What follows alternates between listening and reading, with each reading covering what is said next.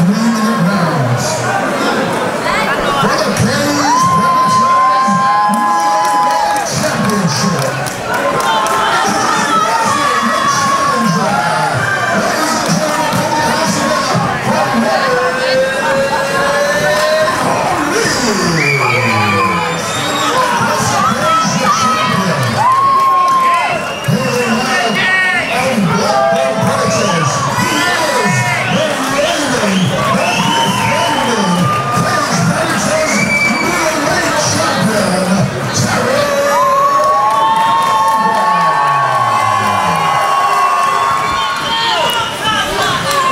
is our co-main event of the evening. Tarro Grogan defending his title in the blue uh, against Wayne O'Neil, who's an independent fighter.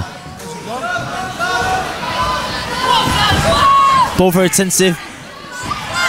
Tarro goes for a takedown and gets it, passes straight to side control, looking to get Mount pinning those legs.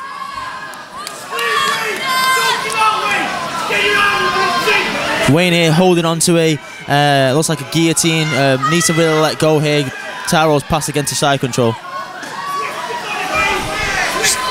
It's Tony Dina putting in a guest performance here as we only have one commentator, but I'll let him get on with it now.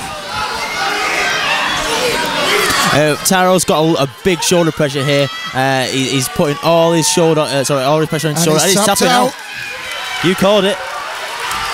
You know it.